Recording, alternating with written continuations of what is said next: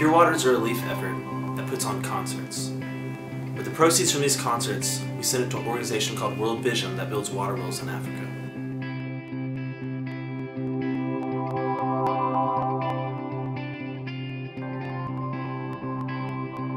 The cost for each water well is $2,600. This water well produces up to 600 gallons of clean water a day.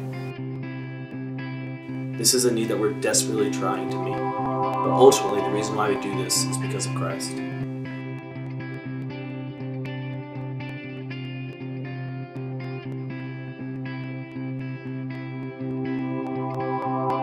Christ calls us to go and care for those in need. And this is how we obey Christ.